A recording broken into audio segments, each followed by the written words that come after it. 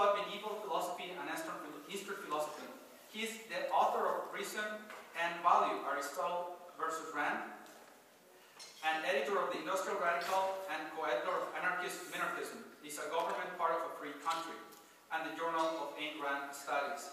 He runs the Molinari Institute and Molinari Society, serves as a webmaster and archivist for the Alabama Philosophy, Philosophical Society, blogs at Austrian Athenian Empire and Bleeding Heart Libertarians, if you have Plus, please go there, take a look, they're great. Serves as faculty advisor to the AU Libertarians and to the AU Young Americans for Liberty, and is a senior fellow at the Center for, the, for a Stateless Society, a senior scholar at the Ludwig von Mises Institute, and a co-founder of the Alliance of the Libertarian Left. So you are up for a treat, Professor Long.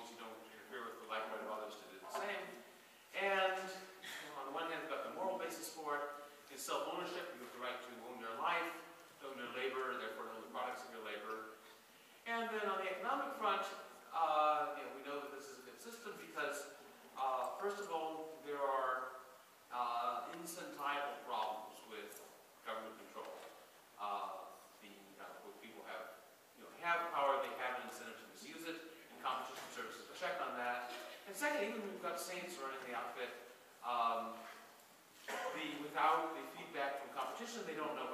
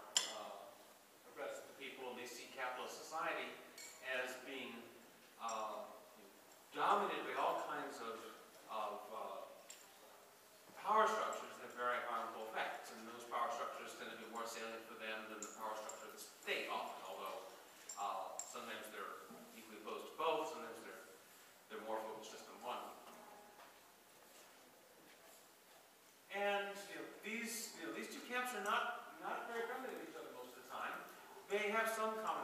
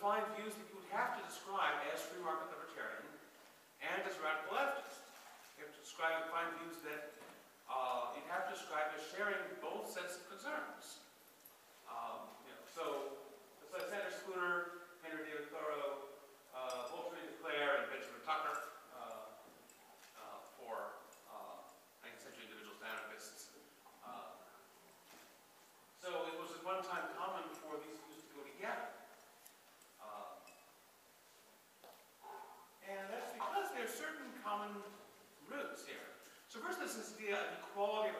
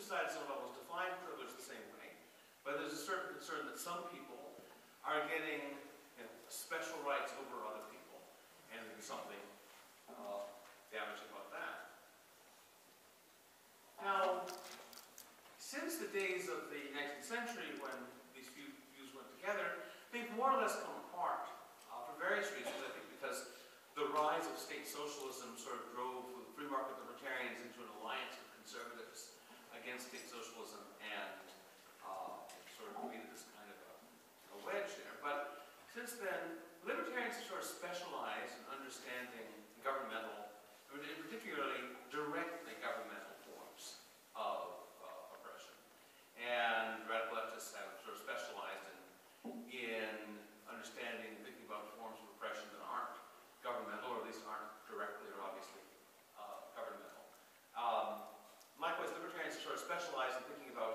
for-profit solutions to these problems, and radical leftists tend to specialize in thinking about non-profit solutions to these problems. Um, and I think that each side, you know, since they went their separate ways, each side has been doing some valuable work, but sort of in isolation from the insights of the other side, and learn from each other. Uh, so it's My claim is that free market libertarianism and radical leftism uh, are natural soulmates. They belong together. They've been driven apart by uh, evil circumstances, but really um, uh, free market libertarianism is the fullest natural development of radical leftism. And radical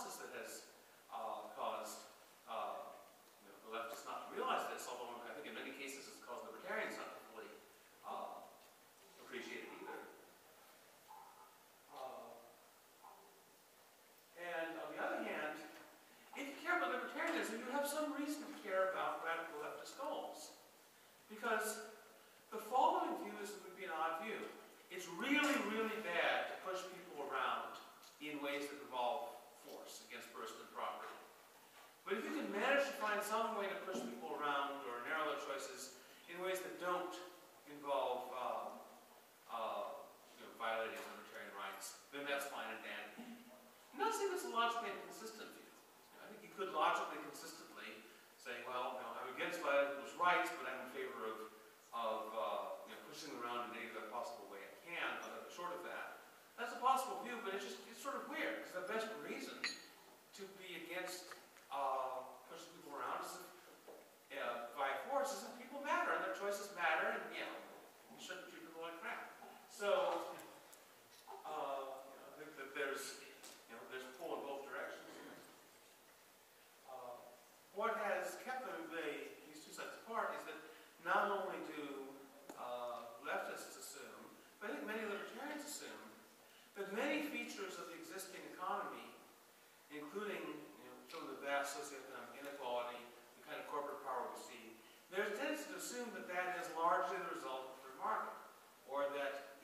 society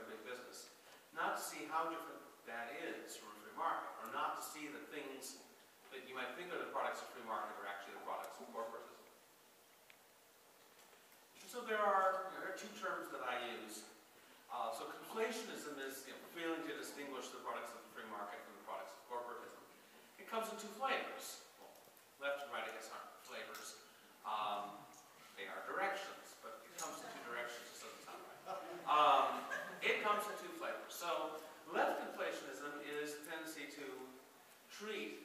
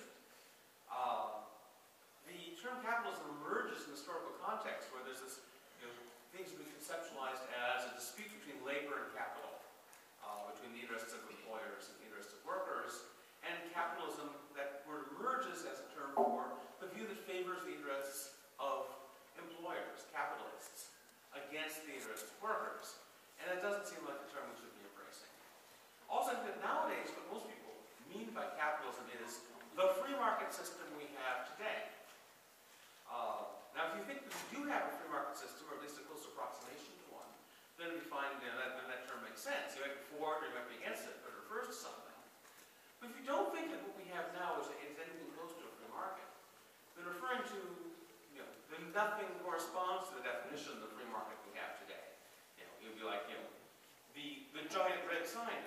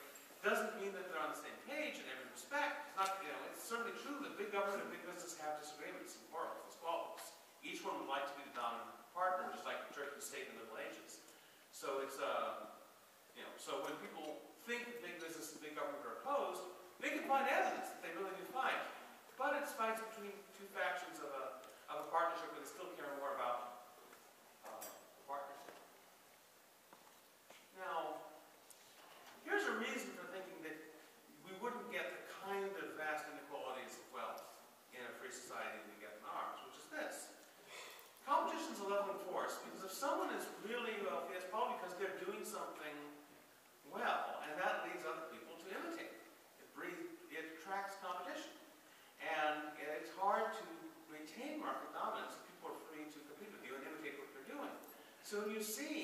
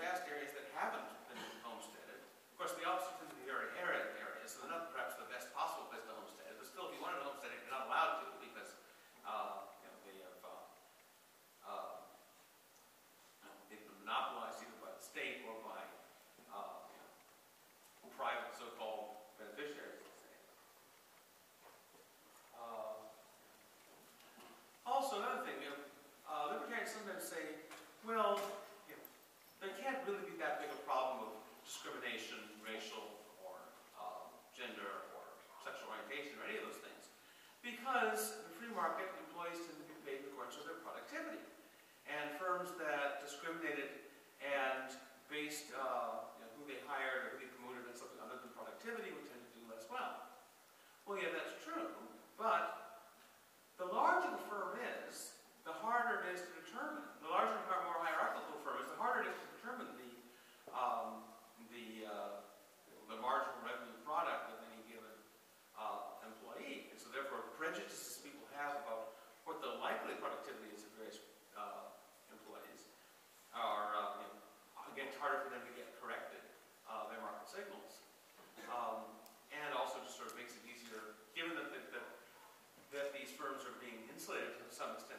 competition, if a you know, company does want to discriminate, the costs of discrimination they are at least partly insulated uh, from. They can treat, uh, uh, you know, we, we treat, treat discrimination as a consumer's good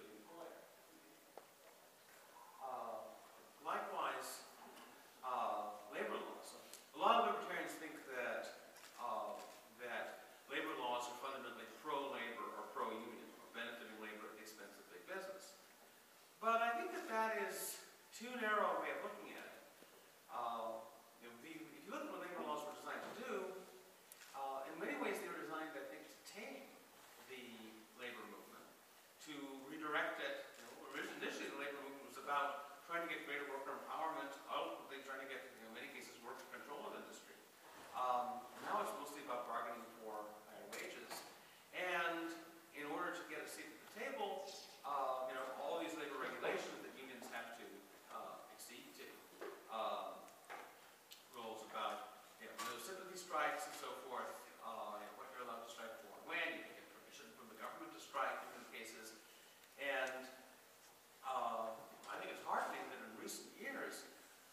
We're starting to see some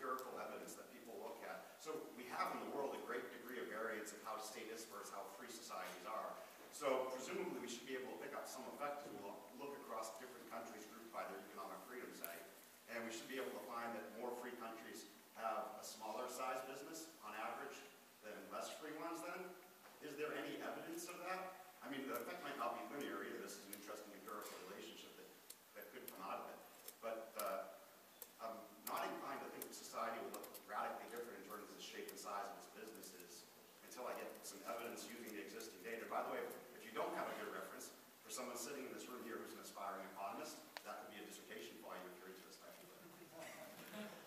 I'm not sure that we should expect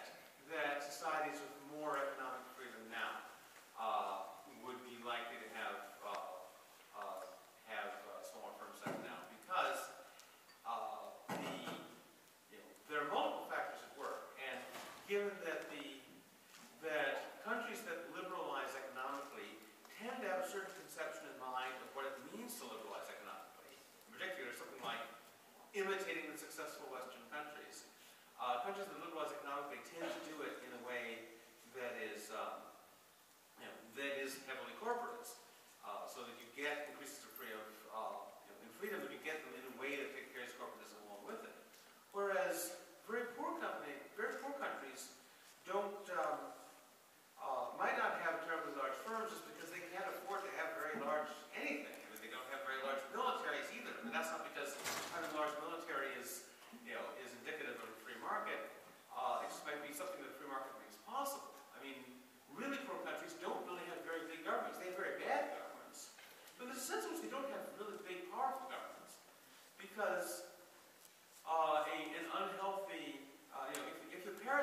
too harmful.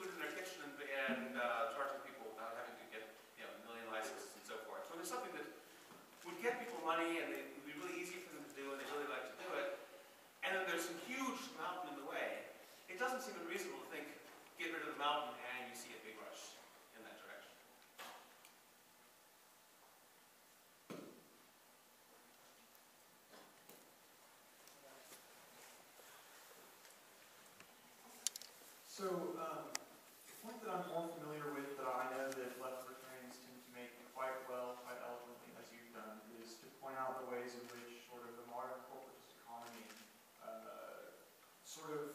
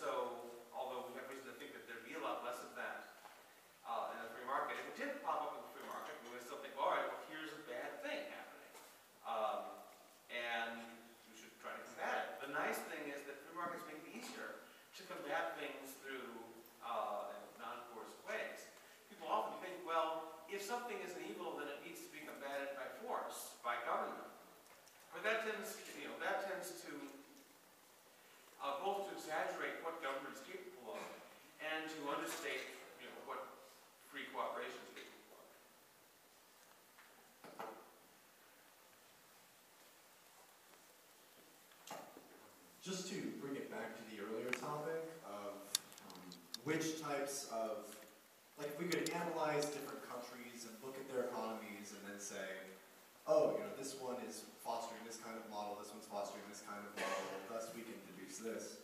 We know that that's not how the current world is set up. The economy seems to be fully globalized, all the economies are for the most part tied together, the US is at the top of that pile for the most part, and the US's policies money and currency and World Bank and IMF and Bretton Woods, I mean, all these types of things affect all of these other countries as well. So it seems very unlikely that we could look at some, you know, third world country and deduce something from analyzing it as if it's an island. Yeah, that's true. None of these countries are completely independent in their economies. There are, of course, interesting differences. I mean, recently there's a lot of attention to the fact that in some ways, countries like Canada and Denmark that libertarians often think of as socialist horrible places, in some ways are more free market than the US. If you're talking not about the extent taken in taxes, because they tend to have higher taxes and bigger welfare states, but in terms of the amount of regulation, in many ways, they're less. So you can, you, you can look at some of those differences, but yeah, it's, it's hard to escape